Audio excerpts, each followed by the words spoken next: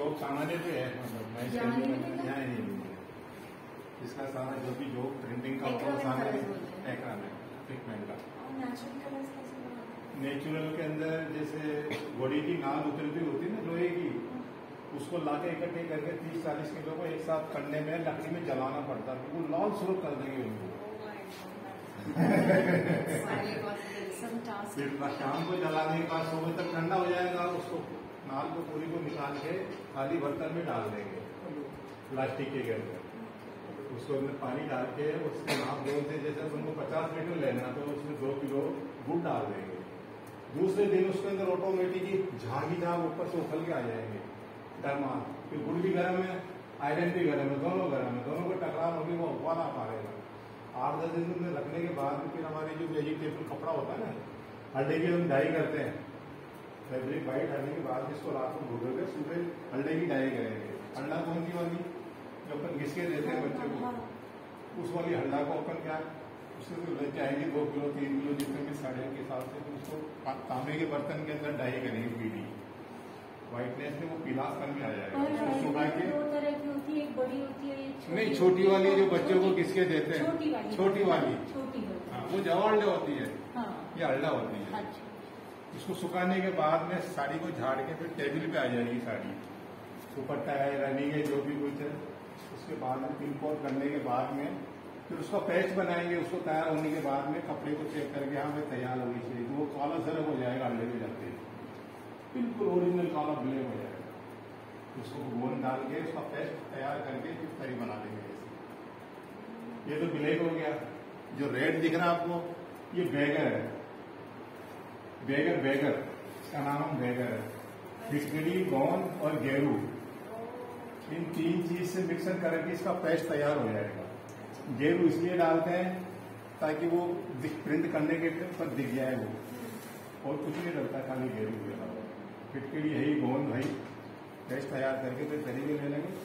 Outline चाहे blade की ले लो, चाहे बेगर की ले लो। दोनों की। फिर इसको कम से कम भी पंद्रह बीस दिन उस प्रिंट करने के बाद कपड़े को रखना पड़ता है जमने के लिए ताकि कपड़ा उसमें फास्टिंग हो जाए कपड़े के अंदर। फिर इसकी वॉशिंग होती है।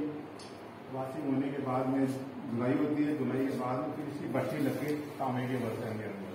तो पक्का फास्ट करने के लिए। तो पक्का फास्ट किससे करेंगे? एलिजिन आता है पुराना। उसके जो ओल्ड कलर है उसको पानी गर्म होने के बाद में इतना गर्म हो जाएगा कि उंगली नहीं डूब सके, इतना टेम्परेचर लेना पड़ता है फिर एक केसुरी के फूल आते हैं एमपी से। आपने नाम सुना होगा। उसको कूट के उस पानी में गर्म में डाल देंगे। एलिजिन को नाप से लेके जैसे पचास साड़ी है तो अपने अस्सी ग्राम एलिजिन लेगी उसको पानी में घोल देते हैं। एक एक साड़ी को पल्लू पकड़ के चाँद निकाल के उसको डुबो देते हैं। डूबे से ही अपना असर चालू कर देगा, लाल कलर होने हो जाएगा एलिजिन ये है ओरिजिनल सांगानेर की पुस्तिक फॉल्ट करा। कपड़ा फट जाएगा मगर ये लाल कलर नहीं जाएगा ब्लैक नहीं जाएगा ये सबसे बड़ी पहचान है।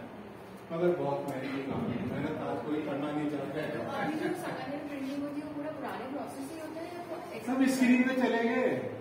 सारा प्रोसेस स्क्रीन में चलेगा प्रोडक्शन जो है ना हिंदुस्तान को प्रोडक्शन के हिसाब से कुछ भी नहीं है। ये बहुत धैर्य तसल्ली का काम है। अब मेरे से दो महीने की दो साड़ी प्रिंट होती है पे कभी दो साड़ी। तो अब जो एक्रामिन कलर है वो आप डायरेक्टली यूज़ कर सकते हैं? एक्रामैन अपन जैसे पिंक ले पिंक ले लिया ना इसमें? ये पिंक ले लिया ना ये एक्रामैन का है ये। अच्छा वो बीच में ये वाला। एक तो ओलिव ग्रीन आ गया एक पिंक आ गया। ये पाँच या चार कलर से हो गया। चार कलर की साड़ी चार उनको कैसे यूज़ करते हैं? इसको? एक्रामिन कलर मैंने पेस्ट बताया ना यूथ के अंदर। जैसे वो तो अभी आप बता रहे थे पुराना ट्रेडिशनल मेथड है। हाँ हाँ। Is going to use that only ये- अभी यही यूज़ भाई दो करेंगे। तो है ही ब्लैक एंड रेड ये नेचुरल तो दो ही हो गए। तीसरा कलर अपन मस्टर्ड ले लेंगे पिंक ले लेंगे ओलिव ग्रीन ले लेंगे। जो अपन को मैचिंग के हिसाब से सेट करना है ना वो फिर पिगमेंट का एक डट्टा उसमें वो दो ले लेंगे। ये प्रोसीजर है ये प्रोसीजर मैं आपको घर में बताता घर पे सारा सारा यूनिट है मेरे पास में तो नेचुरल का वो हम लोग वो भी प्लान कर सकते हैं अगर हाँ कभी आप- हाँ। आप करना कुछ लोग जो इंटरेस्टेड होंगे, उनको हम ले जा सकते हैं वहाँ तक। ग्रुप को लेके आना सारी डिटेल्स हाँ।